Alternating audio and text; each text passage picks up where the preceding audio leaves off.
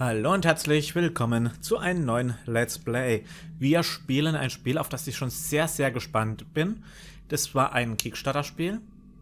Ich glaube, es war Kickstarter, zumindest war es ein Groundfound, äh, Groundfounding-Spiel. Ähm, und zwar eine Mischung aus Rollenspiel, Sammelkartenspiel und Hack'n'Slay. Eine sehr, sehr krasse Mischung meiner Meinung nach, aber ich glaube, das müsste auch ziemlich gut sein. Also ich habe auch Gutes über das Spiel gehört gehabt. Selber gespielt habe ich es jetzt seit noch nicht so richtig. Ich habe mal das erste Level durchgemacht gehabt, ist aber schon etwas länger her. Und dann habe ich es zurückgelegt, weil ich mir dachte, das könnte ich vielleicht mal als Let's Play bringen. So, ähm, dann würde ich auch sagen, wir starten das Spiel doch gleich mal. Ah, one more for the game. Come, sit. You have passed the 13 gates. And you come to my table to play the game of life and death. Your stake is wagered. I refuse none who come here. Yet, I say, turn back. Okay, so viel zu dem Intro. Das Spiel ist übrigens auch auf Deutsch, hat man ja gesehen gehabt. Allerdings die Sprachausgabe ist Englisch und da gab es leider keine Untertitel dafür, aber ich denke, man hat es ganz gut verstanden gehabt. So. The game begins. One lives and one dies. Let us see what you are made of. Okay. Der Staubhuber. member of my court, the Jack of Dust. Twelve in all must fall before you may challenge me. Also zwölf von diesen Bossen müssen, äh, müssen wir mal besiegen, bevor wir ihn äh, herausfordern können. Das ist der Staubbube. Der Anführer der Räuber ist stärker und schneller als die meisten Räuber, die dir begegnen. Er kann in Rage geraten und so mächtige und unblockbare Angriffe ausführen. Außerdem stachelt er sein Gefolge dazu auf, für bei jedem Treffer Gold zu stehlen. In den Ruinen eines uralten Tempels zwischen sich ewig wandelnden Sanddünen lebt der mysteriöse Anführer der Wüstenräuber. Er ist berüchtigt für sein Terrorregime über Gewürzkarawanen, die es wagen, durch sein Reichs Reich zu reisen. Er herrscht als ein König über die öden Lande. Das ist sozusagen unser erster Hauptgegner. So, dann misch mal die Karten.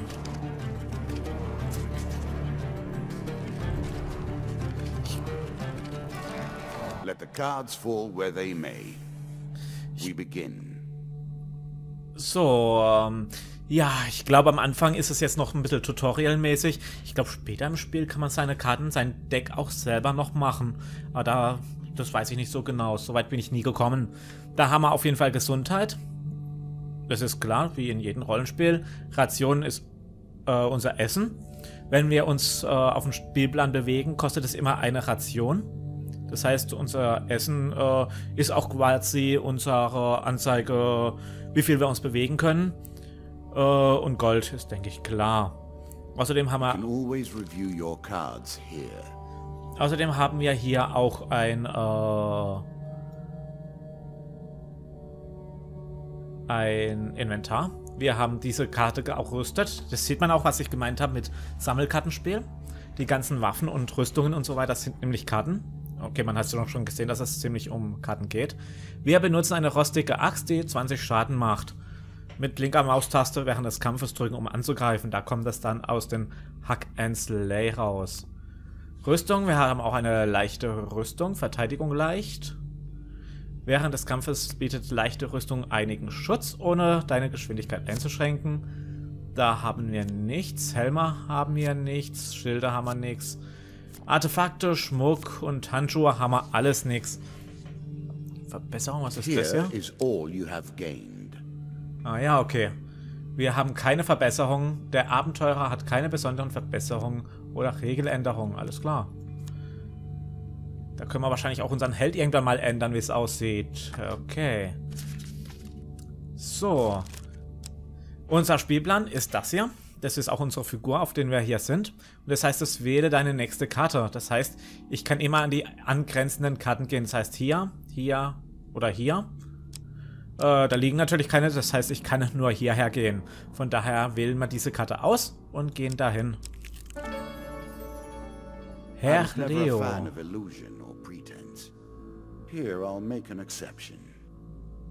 Okay. Habt ihr gesehen? Es ging einmal runter. Rationen haben wir jetzt 19, weil wir uns einmal bewegt haben. Und wir sind auf diese Karte gegangen und die wurde dadurch aufgedeckt und wir haben den Herr Leo gezogen. Während du dir in einem Wirtshaus das Abendessen schmecken lässt, setzt sich ein seltsamer alter Mann zu dir an den Tisch. Er tippt dir grob mit seinem Holzstück auf die Schulter, um deine Aufmerksamkeit zu äh, erlangen. Du siehst ihn an und erkennst, dass es ein Kobold ist, der nur unzulänglich als Mensch verkleidet ist. Sein schrumpeliges Gesicht grinst dich an und seinen Augen blitzt Wahnsinn auf. Ich bin Herr Leo. Wenn du mir gibst, was ich will, werde ich dir mit meinem selbst angefertigten Zauberstab deinen Herzenswunsch erfüllen, mein Junge. Ein paar Augenblicke lang gackert er haltlos, dann wartet er geduldig auf deine Antwort. Das ist sozusagen der Rollenspielpart. Wir können ihm etwas Brot von deinem Teller geben, wir können ihm 20 Gold geben, die wir nicht haben. Wir können ihn fragen, was er braucht oder ignorieren. Ich bin mir nicht sicher, ich glaube, hier war das Brot nicht so schlecht. Wir geben ihm Brot. Er besieht sich das Brot Aufmerksamkeit, dann steckt er es scheinbar zufrieden, vorsichtig in seine Manteltasche. Dann klopft er mit seinem Stock auf den Boden und ein Schild materialisiert sich zu deinen Füßen. Bitte sehr, altes Haus. Er verzieht den Mund zu einem Lächeln, das all seine gelblichen Zahnstümmel offenbart. Du erinnerst mich an meinen Sohn. Wir sind uns doch noch nicht begegnet, oder? Ziehe eine Schildkarte. So. Hier konnten wir jetzt, das ist unser Deck, da konnten wir jetzt eine Schildkarte ziehen. Gut, ähm, hat ein Schild dieses Attribut, das hier glaube ich, kann, kann der Held Geschosse abwehren und auf den Angreifer zurückwerfen. Das ist nicht schlecht. Hier ist ein perfektes Timing vonnöten. Das sind so diese Kombo-Sachen, immer am rechten Augenblick zu drücken und zwar anscheinend Q. Drücke Q-Taste, um Geschosse abzuwehren. Achte auf das grüne Symbol, genau. Wenn ein grünes Symbol über den Kopf des Helden erscheint, kann ich Q drücken und dann wehrt er Geschosse ab.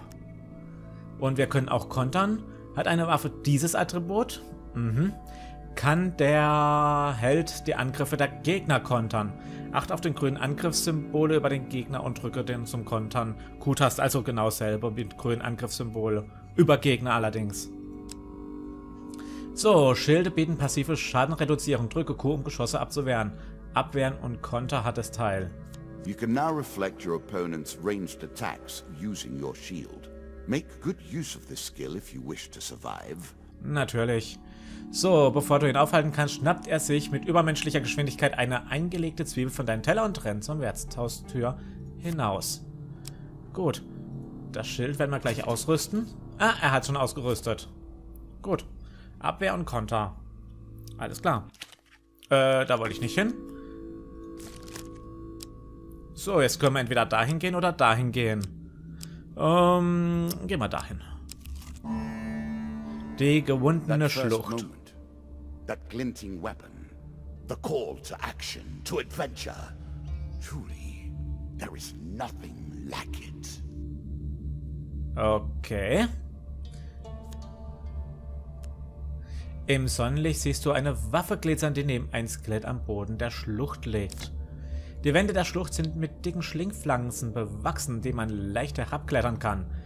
Äh, soll man nach oben klettern, um so zu holen, oder soll man sie liegen lassen?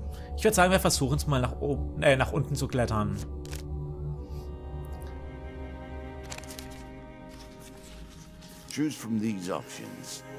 Okay, wenn wir Pech haben, ist es ein Misserfolg, aber die Wahrscheinlichkeit ist ganz gut, dass es ein Erfolg ist. Yay!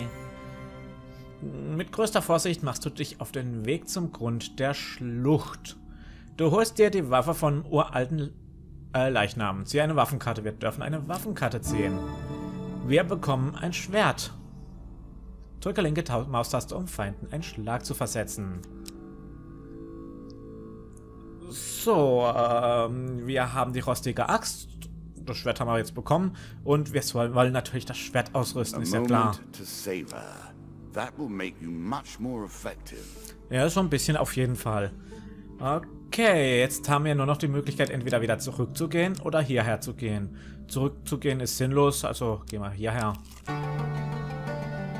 Bound once more, seeking the heart of it all. So, das sind die Treppen. Das heißt, hier geht's in ein weiteres Level nach unten. Aber ich kehre jetzt erstmal um. Du wendest dich von den Treppen ab und erkundigst die Gegend weiter, weil ich will mir noch die letzte Karte noch anschauen hier, was es hier gibt. Die Maid. I'm not surprised to find that this encounter remains vivid in your memories. Naja, so toll sieht die jetzt nicht aus, aber ja gut.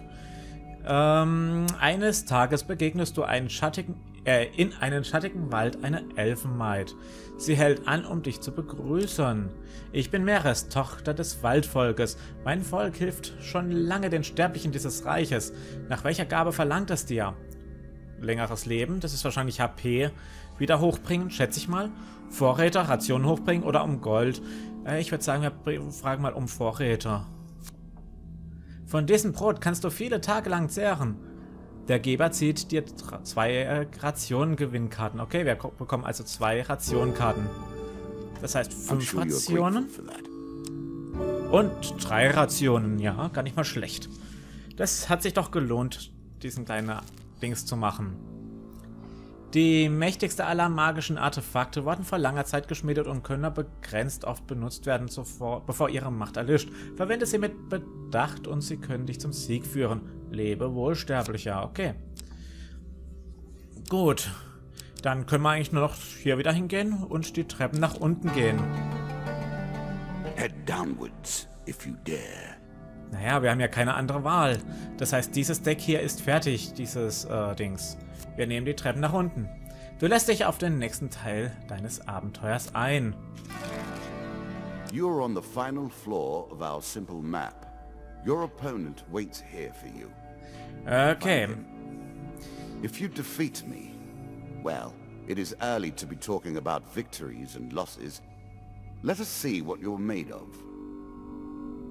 Ja, alles klar. Äh, das ist jetzt relativ klar, wie wir hier weitergehen. Ich würde sagen, einfach mal hier lang.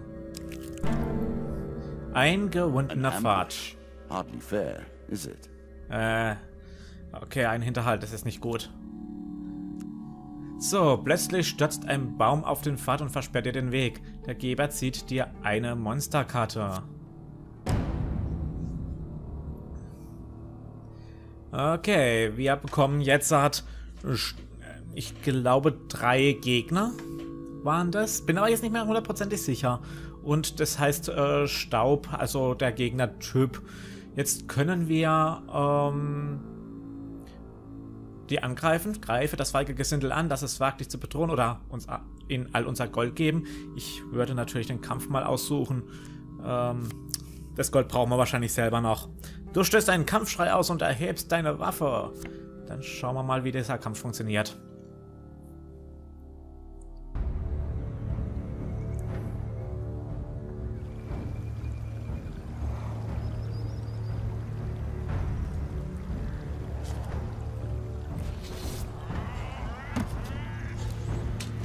So. You can now counter your opponent's attacks. Hit the counter button when you see the flashing indicator. Gut, jetzt haben wir Bewegen, WASD, ist klar, Betäuben. Äh, linke Maustaste ist Angreifen, Space abrollen und Q ist Konter. Und jetzt sieht man ja auch schon...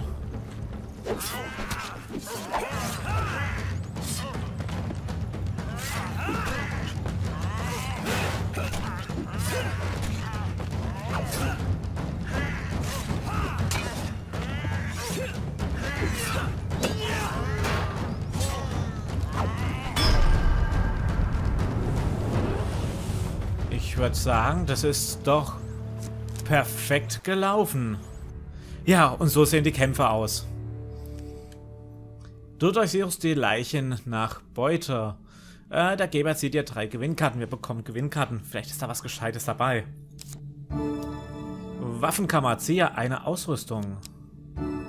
Wir bekommen eine Axt. Peasant's weapon, but effective nonetheless. Nicht schlecht. Äh, die rüsten wir doch gleich aus. Really? Is that what you're going to do? Wir bekommen nochmal fünf Vorräte. Und auch noch Gold. Ja, gar nicht mal so schlecht. Ja, jetzt sehen wir mal, wie diese Kämpfe funktioniert haben. Dann gehen wir mal hierher. Wir bekommen einen Laden. In einem schattigen Hain abseits der bekannten Pfade entdeckst du einen reisenden Händler, der mit einem wandernden Abenteurer Handel treiben möchte. Gemischtwarenläden bieten eine breite Palette an Gegenständen und Heilungen, doch sie sind etwas teurer als gewöhnlich. Gehen wir mal zu den Laden. Sei gegrüßt, weiser Reisender, wir haben dir viel zu bieten. Ja, dann schauen wir doch mal da rein. If you were wondering why you've been collecting all that gold, you now have your answer. We're starting to get into the meat of the game now. The back and forth between resources and rewards. Ja, gut. Dann äh, verkaufen wir erstmal ein paar Gegenstände. Das Schwert würde ich vielleicht ganz mal behalten. Diese rostige... Nee.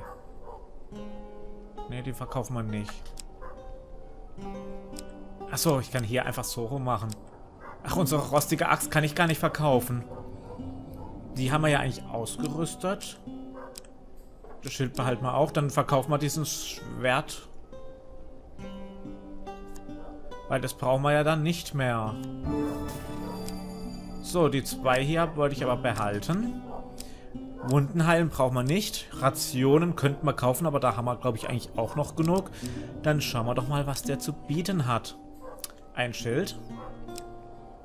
Ein Helm des Entdeckers. Offenbart die Treppe beim Betreten eines Levels und gewährt einen Goldbonus für das Aufdecken jeder Begegnung in einem Level. Das hört sich nicht schlecht an. Könnten wir uns sogar leisten.